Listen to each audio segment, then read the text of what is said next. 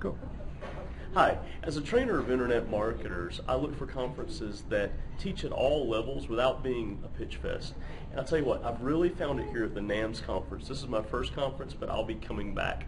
My name is Jason Maxwell of AskJasonMaxwell.com. I hope to see you at the next NAMS event.